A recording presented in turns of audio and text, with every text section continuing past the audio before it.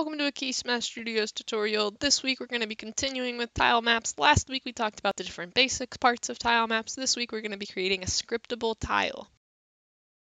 The reason we're going to be doing this is it'll help make creating our 2D levels even easier.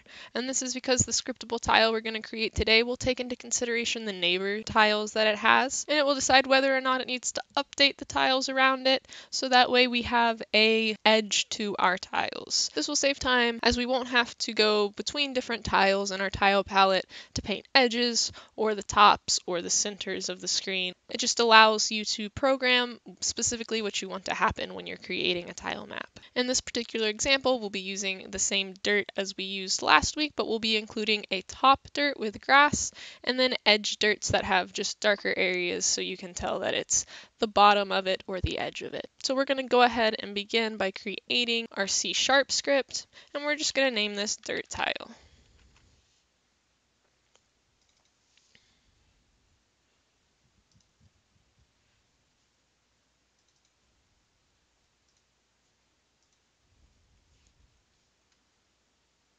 So the first thing we want to do in here is add a using Unity tile map. And then we're also going to add a using Unity editor, but we only want this to be used if we're in the Unity editor. So we'll just add a simple check and then add the using Unity editor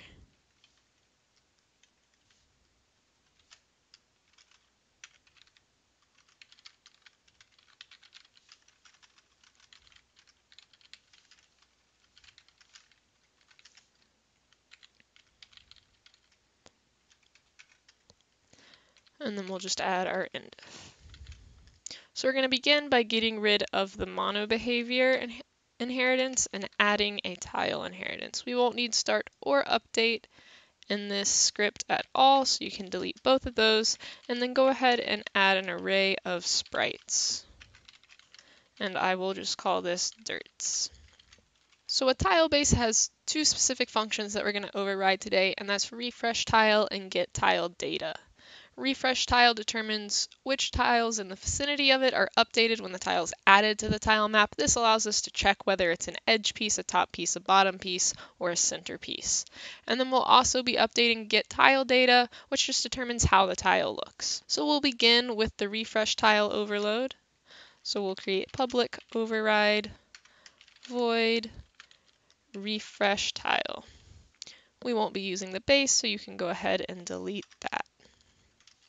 Inside this, we're going to create two for loops, and this is simply for checking the neighbors of our current tile that we're looking at.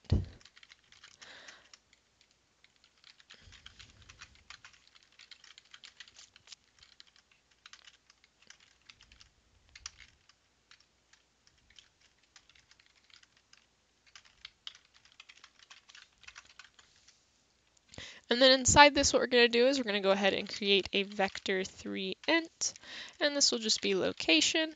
And then we're going to create a new vector, and this is going to consist of the position, our current position x, plus the x in our for loops. Sorry, make sure to fix that for loop to have a 1 there. And then do the same with the Y position. And then the Z position will just be the regular Z that's already set. And then what we're going to do is we're going to make sure that the tile exists. And if it does exist, then we're going to refresh the tile map with the location that we just created. And how we're going to determine if this tile map exists is we'll create a function, and this will be a private bool, and it will just simply be called has dirt tile. And this will take in a iTile map,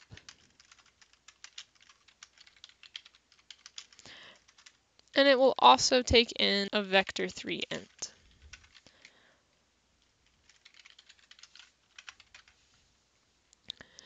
And all we're doing with this is returning the tile map at get position.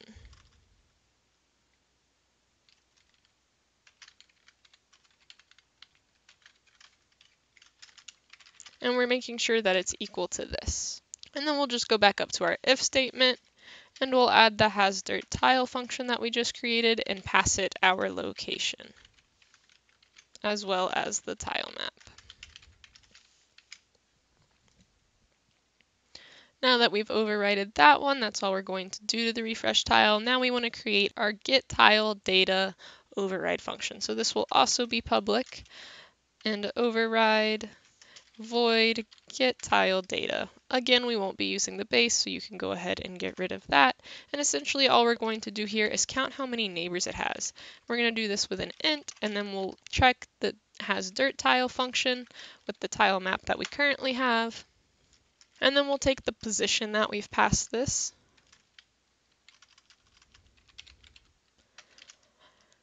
And then we're going to add a vector to it so that way we can check all the neighbors. So we'll be checking one to the left, one to the right, one above, and one below. So the first one we'll check is the one above.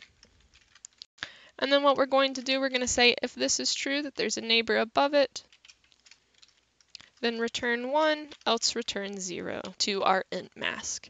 So we're going to continue this so that way we can add to our mask how many neighbors we have and determine it in a function later on.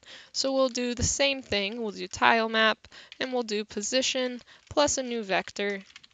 And this time our vector will be determining if it's 1 to the right. And we'll do essentially the same thing here, except we're going to say if it's true, give us a 2. If it's false, still give us a 0. And I'm just going to copy this line and paste it, and we'll just change inside here. So now we're going to say if it's 1 down, then give us a 4, else give us a 0. And what we're going to do here is say give us an 8 if it's true, 0 if it's false, and then we're going to do a negative 1 in the x direction. So now we have a way to determine how many neighbors we have, and so we're going to go ahead and plug this into an index. And then we'll create a function here in a second called getIndex, and that's what we'll use to determine, based off our mask, the amount of neighbors that we have. So this function will be a private int get index, and it takes a byte that we'll call mask as a parameter.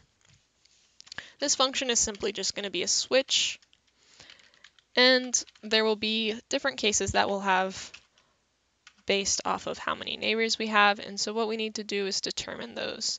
So to kind of show you how I went about this, if you look at this, I have a top left edge piece, a top piece, a top right piece, side pieces that are separate, and then the same for the bottom, as well as a center piece. The black number is the index that I will be plugging the PNG into, and then the red number is the calculated mask for each of those numbers. So we need a switch case for each of these red numbers, and then we will return the index number associated with it. So I'll go ahead and minimize that, and we'll go ahead and do this. So for case 0, we will be returning 0,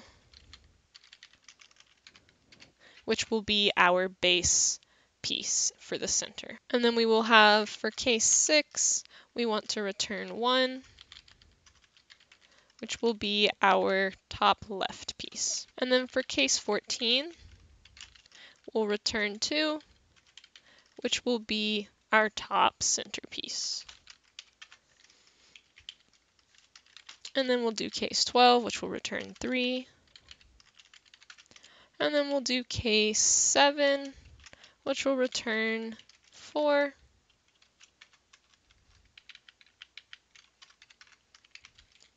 Case 13 will return 5. Case 3 will return 6.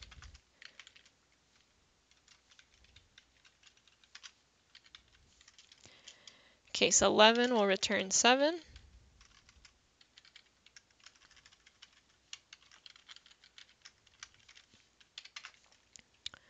Case 9 will return 8.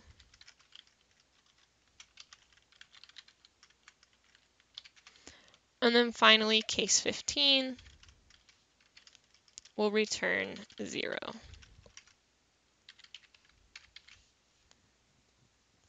And then if, whoops, and then if it's none of these, I will simply return negative 1. So now we'll go back up to our get tile function. And so we're going to say if our index is greater than or equal to 0, and our index is less than our dirt's length, then we want to go ahead and provide information to our tile. So we're going to do tile data, and we'll start with the sprite, and we'll make it equal to our dirt's index which will just be what we assign down here. And then we'll go ahead and do our tile data's color. I'm going to make the color white, which is simply just I want it to be what I put into the scene. I want I don't want it to have any kind of highlight or tint to it, but all you have to do to add a highlight or tint is change this color. And then we'll add a flag.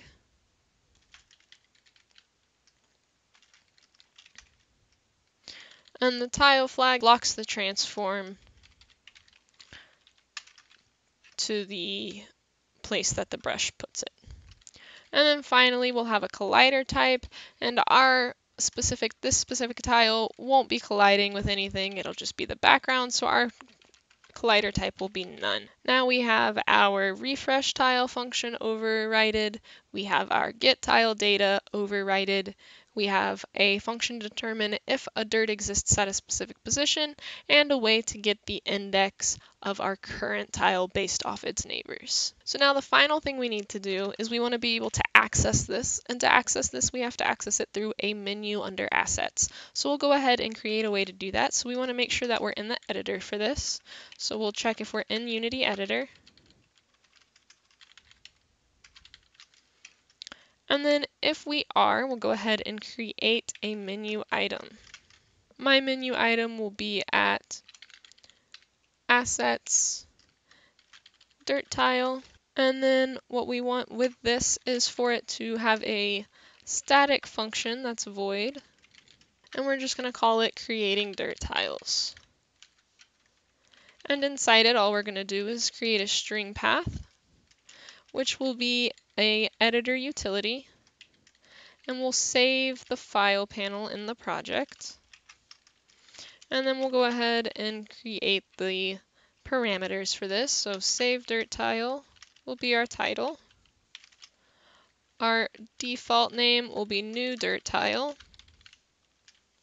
The extension will be asset. And then our message will be save dirt tile. And then our path will be assets. We'll go ahead and close that off. And then we're going to create a function to make sure that our path isn't null. So if the path is null, then we simply want to just return. We don't want to continue. We don't want to try to create this asset. If it's not null, then we want to go ahead and do our asset database. And we're going to create an asset. And then this will be a scriptable object of type dirt tile. And then it will be at path. And then we'll go ahead and add our end if. Sorry, you want to do scriptable object dot create instance of our dirt tile. Now that we've saved, we'll go back and we'll go under assets that we now have our dirt tile. So we'll go ahead and create one and we're going to drop it into our current folder of scripting tiles and we'll simply call this scripting dirt. So now you can see it's right here. So if we go up here, you can see our public array of sprites that we made earlier. And based off this, you can see that we're going to need nine different dirt PNGs. So we'll go ahead and make our sprite array nine. And then I'll go ahead and pull those in. So I'll just drop my images into this folder.